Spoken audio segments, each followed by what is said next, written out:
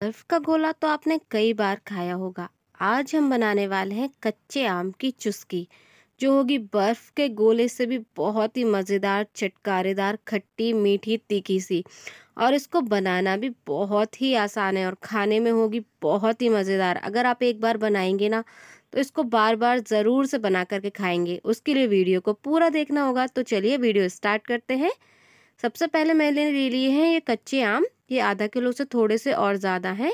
बस अभी हमें क्या करना है, इनको अच्छे से वॉश कर लेना है एक दो बार पानी से, जिससे कि जो गंदगी ऊपर लगी होगी, जो डस्ट होगी, वो बढ़िया से निकल जाएगी। बस इस तरह से हम इनको अच्छे से वॉश कर लेंगे। उसके बाद हमें क्या करना है, जो ऊपर का पार्ट है, वो हम निकाल देंगे। बस इसी तरीके से बढ़िया से ऊपर का पार्ट हम सारा निकाल देंगे। अभी मैंने सारे ऊपर का ये जो पार्ट है, उसको अच्छे से निकाल दिया है।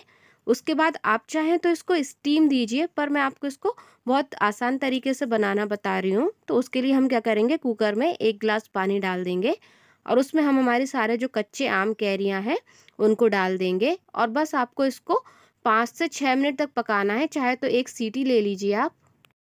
तो बस इस तरीके से मैं इसका ढक्कन बंद करके इसको एक सीटी लेने तक पकाऊँगी।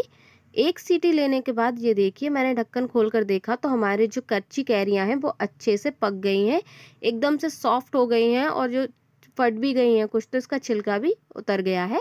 तो बस अभी मैं इसको ठंडा कर लूँगी, उसके बाद हम इसका पल्प निकालेंगे।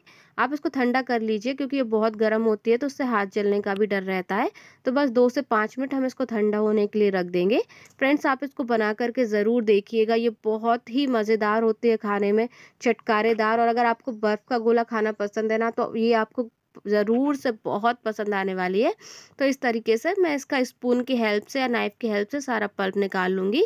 अब हम इसको बनाने वाले हैं बहुत ही चटकारेदार मसालेदार। तो उसके लिए मैंने इसमें कुछ पुदीने की फ्रेश पत्तियाँ डाल दी हैं और उसके बाद हम इसमें डालेंगे नमक। इसमें सादा और काला वाला काला और गोरा दोनों ही तरह के नमक डाल देंगे। और उसके बाद और तीखा चटपटा बनाने के लिए काली मिर्च का पाउडर साथ ही में मैं इसमें दो बड़े चम्मच भर कर डाल रही हूँ शक्कर। अगर आपकी कैरी कम खट्टी है तो आप थोड़ा कम शक्कर डालिए, पर मेरी कैरी बहुत खट्टी है।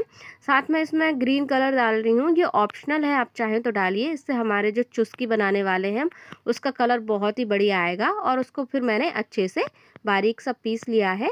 ये देखिए, पर ये अभी बहुत ज़्यादा गाढ़ा बना है तो हम क्या करेंगे, इसमें पानी डालकर इसकी कंसिस्टेंसी को सही कर लेंगे तो उसके लिए मैं इसमें आधा ग्लास पहले पानी डाल दूँगी और इसको बढ़िया से मिक्स कर लूँगी। फ्रेंड्स वीडियो अच्छी लगे तो लाइक कीजिएगा शेयर कीजिएगा और चैनल को सब्सक्राइब ज़रूर कीजिएगा और बेल आइकन को दबाना मत भूलिएगा। तो हम इसको बढ़िया से मिक्स कर लेंगे। आप इसको एक बार बना करके ज़रूर देखिएगा, ये बहुत ही मज़ेदार बनेगी।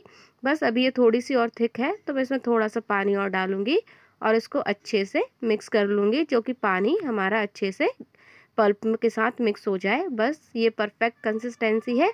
अभी हम क्या करेंगे, इसमें थोड़ा सा और मसाले डालने वाले हैं इसको और चटपटा चटकारेदार बनाने के लिए। इसमें थोड़ा सा नमक कम था तो आप पहले इसको टेस्ट कर लीजिए और उसके बाद मैं इसमें डाल रही हूँ थोड़ा सा ज़ीरे का पाउडर, भुना ज़ीरा पाउडर। साथ ही में मैंने डाला है पुदीने का पाउडर और इसको चटपटा बनाने के लिए मैं लाल मिर्च का पाउडर डाल रही हूँ। आप चाहें तो हरी मिर्च भी डालकर पल्प के साथ पीस सकते हैं। उससे भी ये बहुत ही टेस्टी और तीखी चटपटी चटकारेदार लगेगी।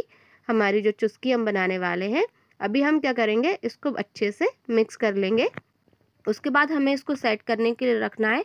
उसके लिए मैंने ये डिस्पोजेबल कप होते हैं, जो चाय कॉफ़ी वाले, वही ले लिए हैं। अगर आप चाहें तो मोल्ड में भी सेट कर सकते हैं, पर मैं इसको बहुत सिंपल तरीके से बता रही हूँ। अगर आपके पास मोल्ड नहीं है तो इस तरह के आप कप ले लीजिए और उसमें हम इसको डाल करके पाँच से छः घंटे के लिए रख देंगे।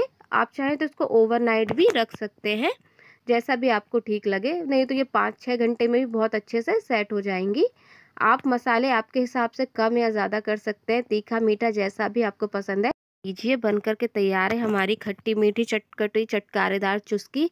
अगर आप चाहते हैं कि इसमें बर्फ़ ना जमे तो आप इसको ऊपर से, पेपर से कवर करके सेट करिएगा, पर मुझे चुस्की चाहिए था बर्फ़ का गोला, इसलिए मैंने नहीं लगाया था पेपर। तो बस इसको बड़ा फटाफट से बनाइएगा और मज़े लीजिएगा, ये बहुत ही मज़ेदार लगेगी। और मुझे कमेंट करके ज़रूर बताइएगा कि आपकी चुस्की कैसी बनी। मिलते हैं नेक्स्ट वीडियो में। Bye bye